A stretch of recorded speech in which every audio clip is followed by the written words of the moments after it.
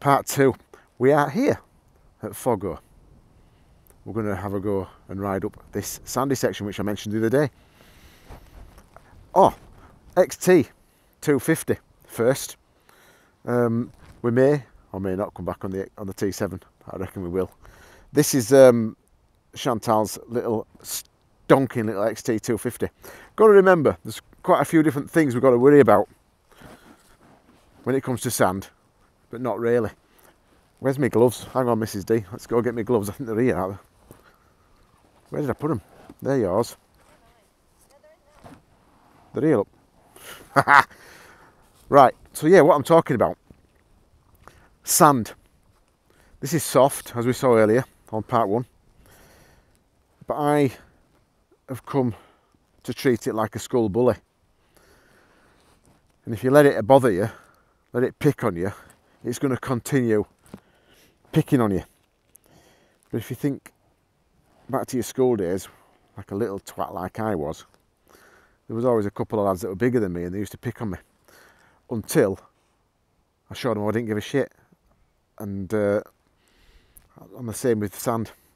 I'm not going to let it pick on me because if I do, it'll carry on picking on me. So I'm going to carry on enjoying it and showing it who's boss. Now, with that in mind, I have got literally 25% the power of the T7 and I have not got 25% of the weight. I think this is about 140, 150 kilos, maybe 140 kilos. I'm 70-ish, 72. So that's certainly not 25% uh, power to weight ratio similarities to the T7. The thing about sand, we need to be powering on and getting on it. Position the body, bit of weight further back like that. Try to get this, try to get the front end skimming over the surface a little bit. You do not want your front, you do not want your front wheel tucking. It's going to be different here. I've got no power compared. I've got about 18.5 brake horsepower. That half a brake horsepower might make all the difference. Am I going to be able to get up here? I don't know. I've not done anything with the tyre pressures. They are standard at 25 psi front and rear. And I'm going to try and get up it. Let's give it a go. Think I'm going to stick with first up to second gear then I've got the option to drop down a gear. I've never ridden this thing off road in the sand so this will be interesting. Who knows what's going to happen here. Chantal's going up the hill, she's going to try and film me.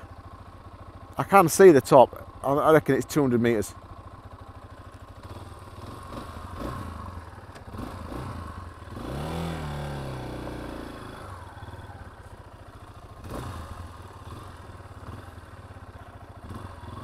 I'm going to give it a go.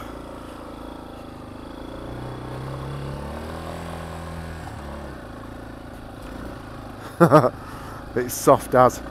I'm not sure I'm going to have the power to get up here. Actually, cars have been up, haven't they?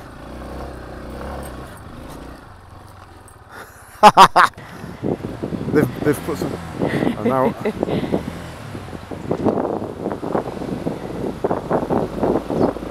cars have been up here. And they've put some right holes in it. Got to pick my line here.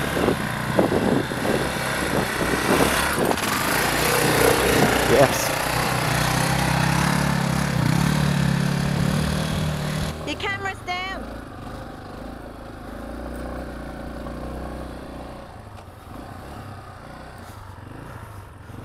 And that's what I remembered to tell myself. Oh. I think I've lost my camera.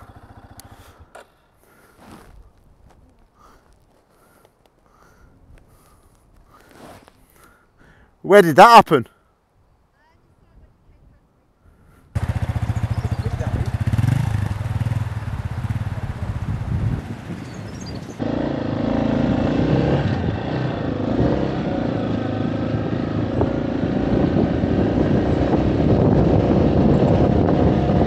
A bit more speed this time. Top of the line.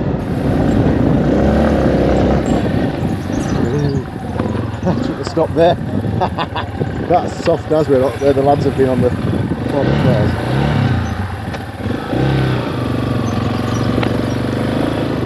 Digging in. going out there, really. Now I've dug. So, I didn't go fast enough. It's really soft, it's like. So, the good thing about having a little bike, you didn't get enough. Do you go back? You can go back, so you've got the option of doing this.